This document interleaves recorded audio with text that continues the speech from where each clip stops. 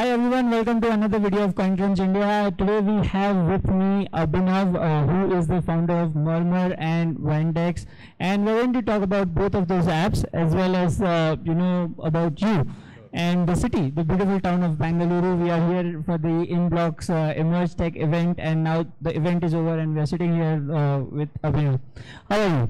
I'm doing great. Thanks to you. Thanks to Abhinav for having me here. The first Inblox event uh, that I've uh, attended, and uh, thanks a lot for Abhimanyu for inviting me to talk as well. He's right there. See, he's, he's smoking right now. Yeah.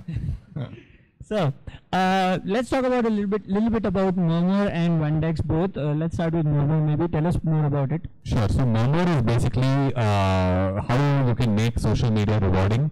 Uh, we're make creating social media 2.0, which enables um, you to solve for issues with current social media, such as uh, you know non-censorship or such as non-censorship resistance, uh, engineered uh, social media timelines, uh, social media turning towards more advertiser-focused rather than user-focused, and uh, issues with user data privacy. So Murmur solves for those issues. Okay, uh, can you quickly tell us how all those four points are being resolved with Murmur? So using three different methods. One is, uh, uh, like I said, making social media rewarding. Under rewarding, you have three aspects. One is um, uh, reputation. Uh, so we are creating an algorithm where you can create a trust score, what we call the Murmur trust score for every user. So creating an online, creating a reputation system for anonymous or pseudonymous accounts online on the internet. Uh, second is um, community-driven moderation.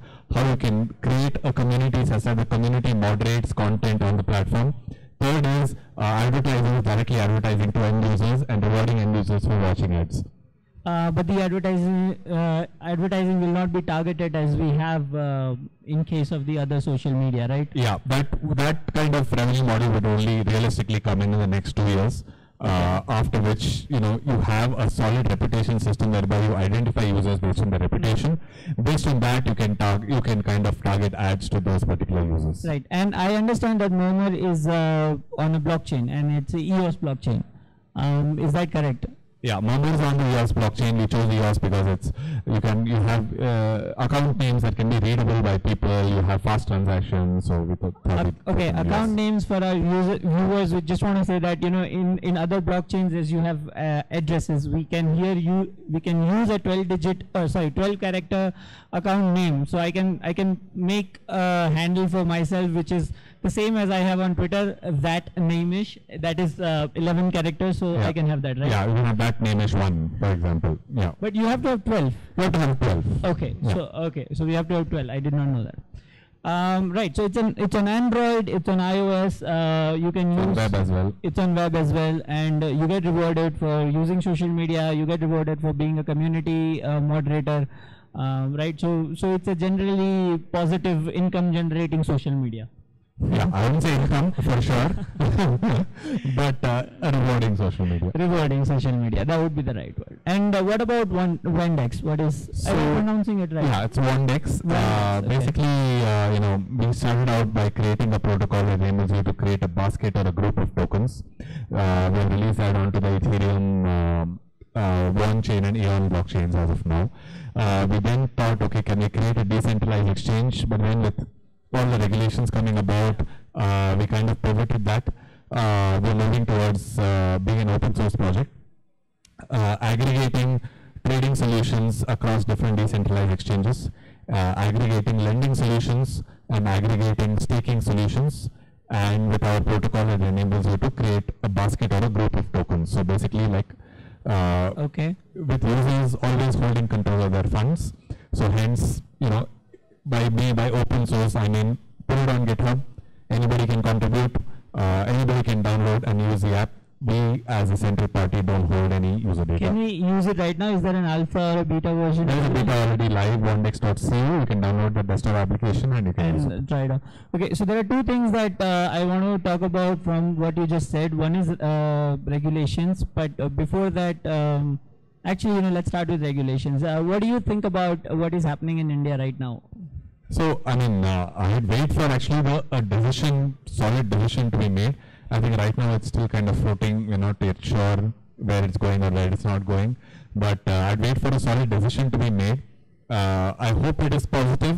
Uh, for crypto, at the same time, regulation is required. So hence, uh, policing out uh, bad actors and promoting, I'm not promoting, but encouraging crypto because you know, like somebody had said, like I think Jaideep had said earlier, you know, crypto is by developers, software developers, people who have you know who are trying to do something unique and trying to innovate on new technology.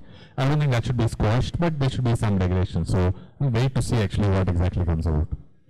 Um, right, but you know there is there is this growing fear, and uh, I'm I'm going to be a devil's advocate right now, right? And the the fear that the government has is uh, crypto may has the potential to uh, uh, you know take over the current financial system. And I was sitting in the court last in the last session, and uh, the RBI's advocate also raised the same concern. He was like, okay, RBI has taken this decision not because it is currently affecting the finance financial system, but it has the potential to affect the financial system, uh, which I sort of agree with. If, if, if you know it grows that big, it can affect the current financial system. Uh, what do you think about it? You know, Uh, I think you know maybe some kind of body such as like a SEBI or something that regulates stocks. Because stocks also is, a, is an asset, right? It's Yeah. stored and it's traded. Uh, a similar thing could be done for crypto if it's recognized as an asset. Depends on what is recognized as. Um, if it's recognized as a payment system, then maybe that fear could be valid. But I don't think that fear is there because the common man, no common man uses crypto for anything right now other than yeah, especially in India, because always the argument in the US has been, you know, banking the unbanked and uh, faster transactions because the wire transfers over there take a day or two or three sometimes. But we have like we have excelled the payment system, right? We have UPI, we have IMPS, we have RTGS, so we don't have that argument. I I, I don't think that crypto is ever going to be a, a Exactly, and there are banks even in the like remotest of villages. There are ATMs there, Yeah. you know, there is no that, that argument is doesn't make any sense in India at least. It, Yeah. it doesn't. It's just that I feel that when Bitcoin becomes really big, really huge, uh, it can become one go-to currency. But that's that's uh, actually that's wishful thinking in my opinion, to be very honest, because Bitcoin was created with the idea of not having an authority over it, right? Um, now let's talk about the second part of what you were saying earlier. You know, WandX being a decentralized um, sort of exchange, we have plenty of decentralized exchanges, right? We have uh, uh, decentralized finance, DeFi or DeFi as people are calling it. What is your opinion on that? Because for me, I'll tell you mine. Okay, for me, I don't think there is a need for me to, uh, you know, put a cryptocurrency of mine as a collateral and take 60% of uh, value of another token that I need for that moment as a loan. That doesn't make sense to me. But what do you think about that? Is it like Uh, I think it's a very growing space. So that's where we thought we saw value in pivoting basically because uh, acting as an aggregator of lending or staking solutions, which are also coming up quite a bit, um, makes a lot of sense because uh, lending, like you said, maybe because you know there aren't say more than like three four assets which are really like people like okay might be willing to kind of lend on that. Um, and lending right now is mainly restricted also to ethereum and erc20 tokens. Once it kind of opens out using cross-chain protocols with uh, btc and potentially ripple or other uh, tokens then lendings will start make start to make a lot of sense. Then staking also will start to make a lot of sense. If you want to stake like ethereum moves into proof of stake you want to kind of stake have a very easy ux where you can stake ethereum there are at least 10 different tokens, Tezos, EOS, all of which has staking functions. You want to stake, but right now staking is a headache. You have to download some wallet, you have to maintain private key here, there. It's too complicated. A simple one-click staking solution and across the board, I think that makes a lot of sense. So that's where we are moving towards. So this is this is in your opinion this is just the beginning and we are going towards um, more easier way of uh, finance you know staking and rewards and lending and, uh, And finance only if, you, if it is categorized as a financial asset. If it's not, then I would say just decentralized app. Yeah. it's a DApp.